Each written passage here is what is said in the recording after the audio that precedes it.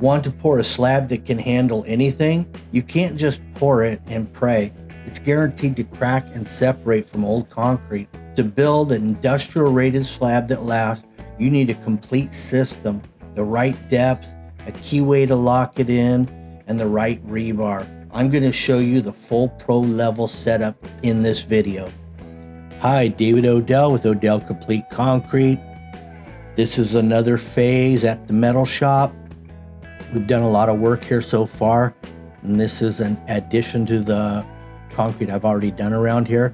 And it's just gonna join the buildings to this area where the metal is stored so that they can drive the forklift across on either end. I have Doug here, he's running the backhoe. Not my brother Doug, but a different Doug. He's actually on that equipment. The main reason he came over is because at the same time he dug a big pit in the back of this building, which will be for sandblasting. We're going to show that build too. So while he was here, I had him move a little bit of the gravel, and it happened really quick with that with that backhoe. Now I'm just doing a little fine tuning on the grade. Had about three yards of dirt came out of here, and the gravel just got moved on top of the other gravel.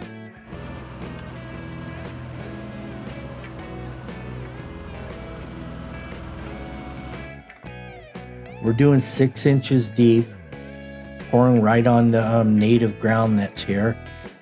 It's good ground. It's just some sand and rock. Compacts really well. And we're doing rebar, two foot centers, 3 eighths bars.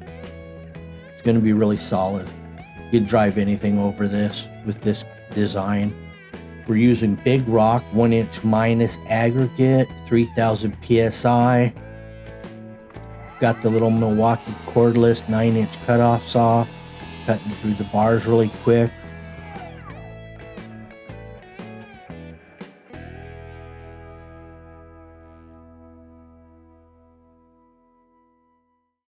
Last minute change, see those two uh, three quarter inch PVCs? Those were last minute, so we dropped them in the morning of the pour. The main thing when you're putting them above grade like that, instead of buried, is that you want them underneath the rebar, not on top of the rebar. That's, that's the important thing. So right here, we're just kind of getting a wet screed. You notice the truck, it just crushed that cone right into the form and then knocked the form in. So we had to do a little adjustment there. This is a nice mix, nice consistency. It's about a five inch slump.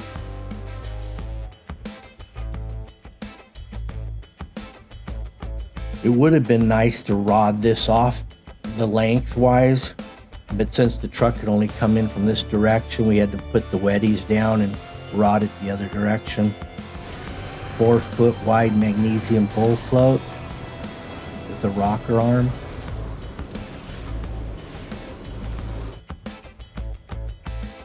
Here's another wet screed going down. Oh, good news. I don't know if you remember Jade, and she got scared off after that wrestling match.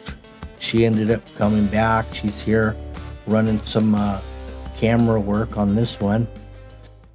Also, I wanted to mention on January 20th through the 22nd, we're going to be doing a live video from the world of concrete, walking around to vendors, also, you can jump in on the comment section and ask us where where you want to go or what tool specific tool you want to see.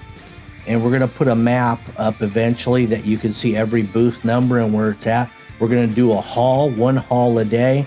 So whatever hall we're on that day is the hall and the booth numbers that you can specify and then we'll go over there, check it out and ask the questions that you want to and anything you want to say to the vendor or whatever tool they have, we're going to relay that to the vendor and then you're going to have the answers.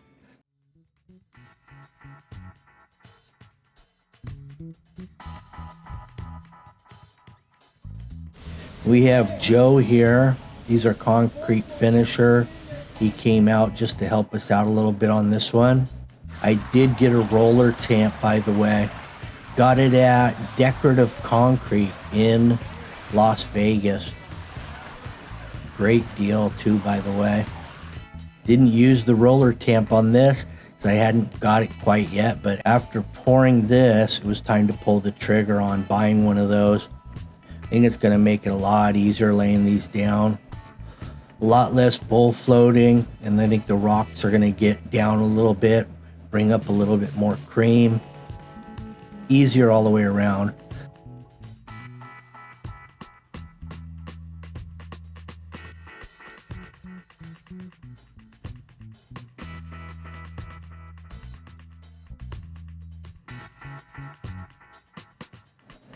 So here's Joe going the other direction on the bull float.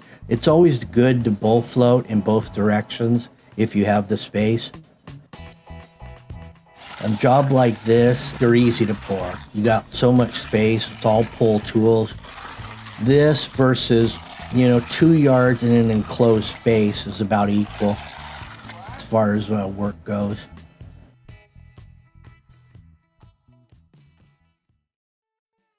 Here's some nice drone footage. We will be cutting some joints in here on the short direction. And then I'm going to come back and then saw cut with the early entry saw lengthwise.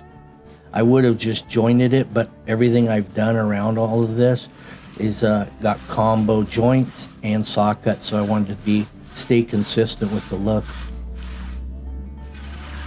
Now this tool right here, three foot long, two and a half inches deep. And because it's three feet long, it, it tracks really straight once you get it started. Also what it does, it breaks the aggregate down deep. So it guarantees you a crack in that location.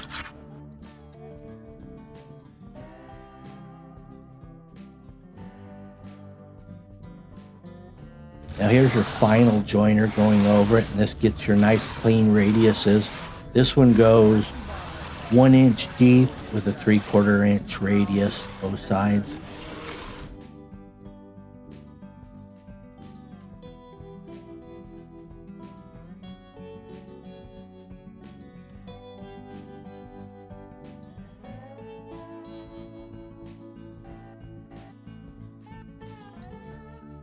on this same concrete truck, there was enough concrete in it for the back of this building. Pretty ingenious idea I came up with. Rather than pumping, I ended up building a big ramp and ramped the concrete down seven foot hole and used um, my tractor to move the concrete back there and slide it down the ramp.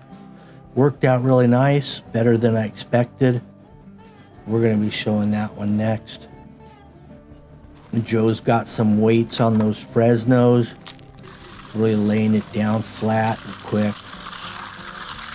One important thing about these jobs, you know, you can do a beautiful finish in the middle on what you're finishing, but if you have a mess around it, then the whole job looks bad.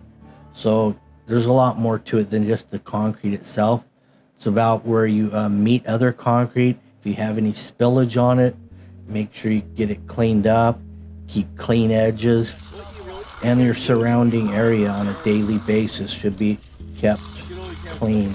Here's the funny trowel going on for the final touch.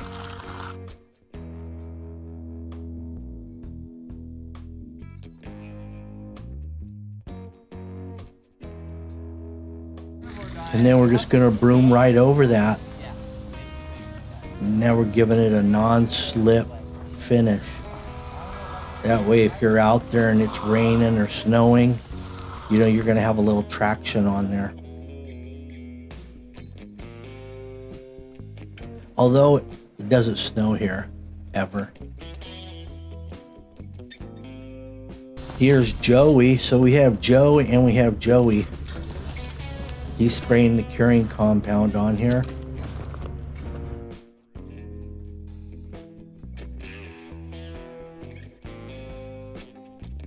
There's your final look before I come back on the next day and saw cut it, which we're going to show here shortly. Here's some of the other concrete work we've done. Okay, so far we got the blue chalk line right down the middle and it matches up with the other saw cut on the other side. We're using the cordless Milwaukee early entry saw, MX fuel battery. I set the depth before I even start cutting. In this case, I set it at one inch.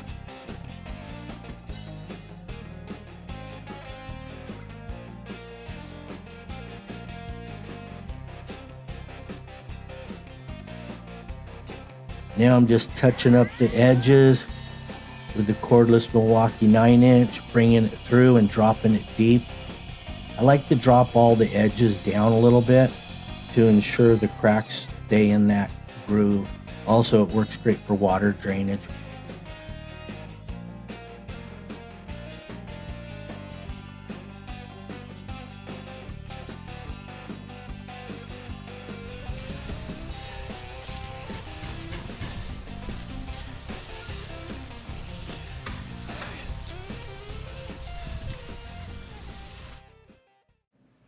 All right, that about wraps it up. Make sure you like, share, subscribe, hit the notification button. That way you'll be notified on our next upload. The next video is going to be unique because it's it's an in-ground poured and formed in place walls. Thanks for watching. Have a good one.